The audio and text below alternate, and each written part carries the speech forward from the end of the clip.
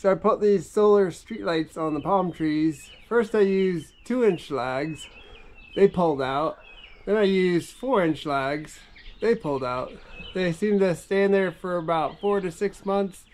Get mega rusty and just come pulling right out from the weight of the, the solar light. So I'm gonna try something a little different this time since the diameter of the uh, trunk doesn't grow over time. I'm gonna try using these uh, this hose clamp strap is stainless steel so it won't uh, get all rusty up there and we'll see what happens.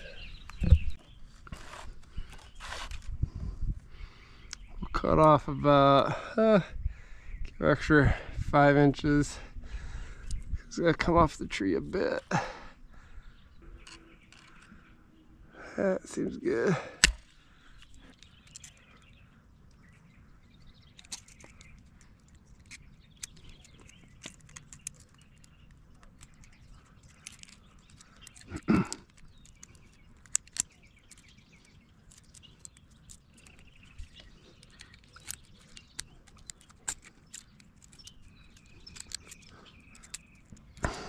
Alright, that should... Let's get this strap uh, on here. We want it to go around like such.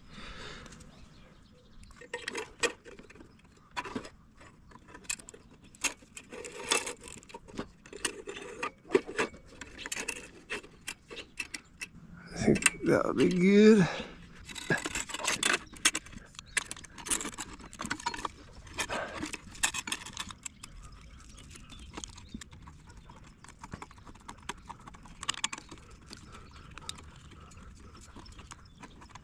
Okay, I got it started here. Using my shoulder to hold it. That's my third hand.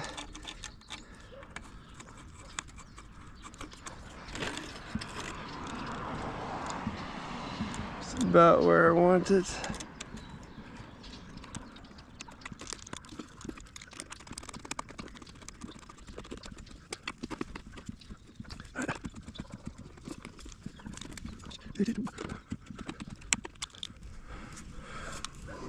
I think that's about as tight as it's gonna be able to go. I might want to like kind of bend that so it's more flat against the tree. Might snug it down a little better. Okay, I'm gonna flatten this out a bit.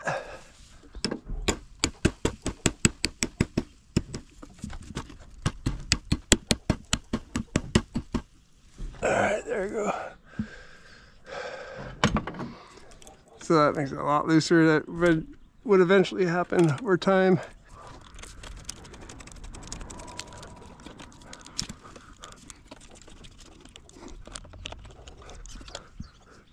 Looking good.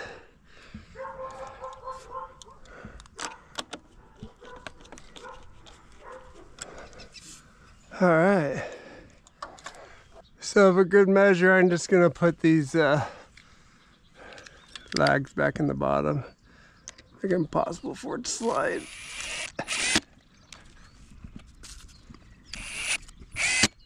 All right, so should stay. So even if this wanted to slide down, it can't. And there's no force pulling these out on the bottom. It's all the force is right here on that strap pulling against the back here. So that should be good. I bet you that will stay for as long as this light's gonna last. These lights don't last forever. Lithium batteries go bad. All right, so there we are. We have the strap installed now. That ain't going anywhere. Should stay up there for the life of the light anyway.